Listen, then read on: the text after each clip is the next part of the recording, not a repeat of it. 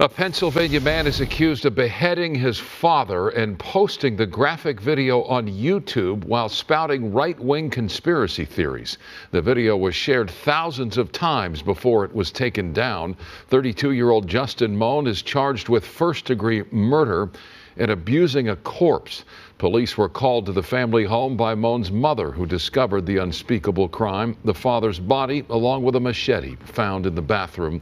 Police say Moan posted a 14 minute politically charged rant on YouTube while holding up his father's head.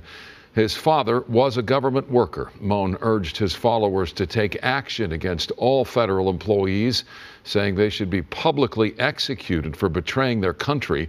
The video had more than 5,000 views before YouTube took it down.